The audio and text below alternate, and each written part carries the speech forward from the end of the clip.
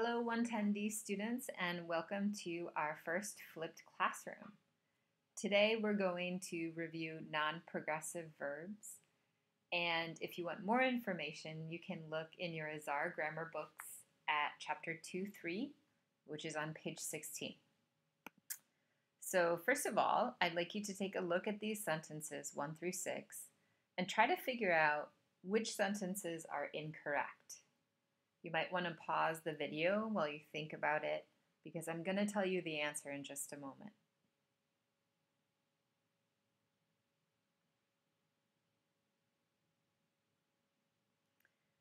Okay, so if you said that the one sentence that is incorrect is, I am knowing that man, then you are correct. This one is wrong. Okay? And the reason it's wrong, we're going to talk about in just a moment. So let's come down here to the big idea. Some verbs, for example, like know, are non-progressive verbs. This means that they are almost never used in progressive tenses. And what we mean by progressive tenses is ing. The main verb is an ing. For example, I am taking, he is helping, they have been training, like this. That's why we can say, I appreciate your help, but we cannot say, I am appreciating your help. We cannot say this ing form. That's why we can say, I believed he was my father, but you cannot say, I have been believing he was my father. So for these verbs that are non-progressive, we're always going to use the simple forms, either simple present or simple past, for example. Here are some other verbs that are almost always non-progressive, that don't use ing. And I've also given you some categories to try and remember them by. For example, like, dislike, hate, and fear, these are all feelings know, believe, remember, and understand. These are all mental states or something that our mind does. And finally, belong, own, and possess. These all have to do with possession or ownership. So you can try to group the verbs into categories and remember them in that way that they're non-progressive. Okay.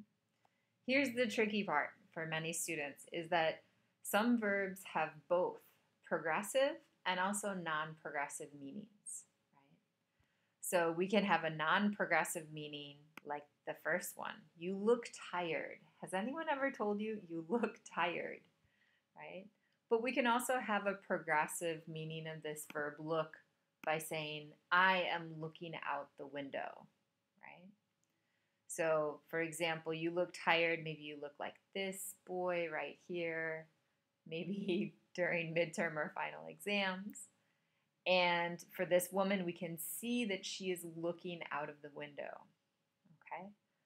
I always try to think about progressive when we have a progressive meaning. You can actually act out that verb, we can see it happening. Okay? Let's look down at the second one. I think Jessica is a great teacher. Can you show me how to think that somebody is a great teacher? Not really right? Um, but we can show someone is thinking about another person. I'm thinking about my grandmother, right? So, which of these pictures do you think shows I am thinking about my grandmother? Probably the one with the thought bubble, right?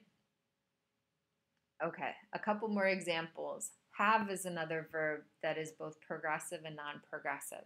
We can say, I have a dog, and we can also say, I am having a good time, right?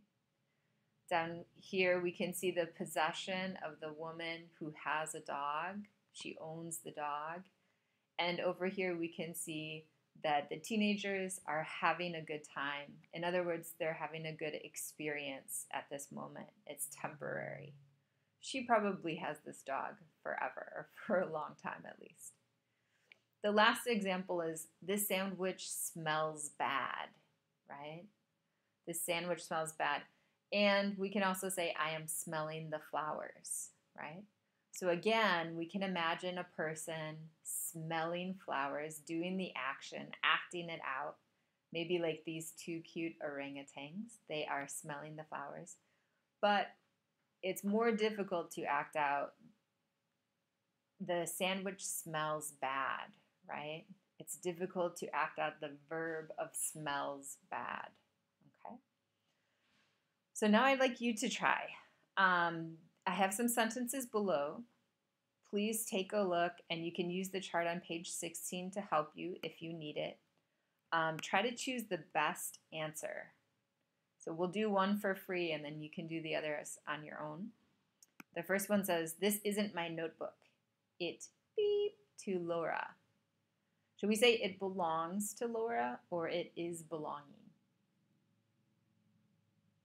Take a minute to think about it. I'm going to tell you the answer in just a moment. All right, so if you said it belongs to Laura, you are correct? Remember that if we go up to here to our rules, belong shows possession, right? And possession of verbs of possession are usually non-progressive, almost always non-progressive. Go ahead and try the others on your own, and in just a moment, I'm going to give you the answers, so please stop or pause the video while you think about it.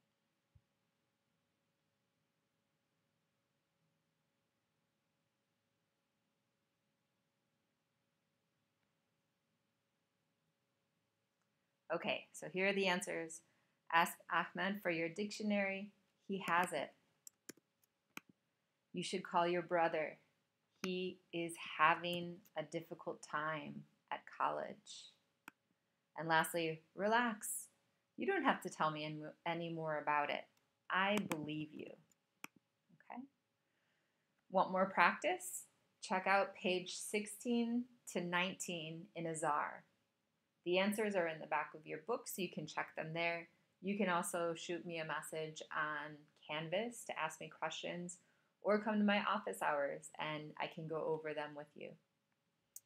Thanks for listening and see you in the next flipped classroom.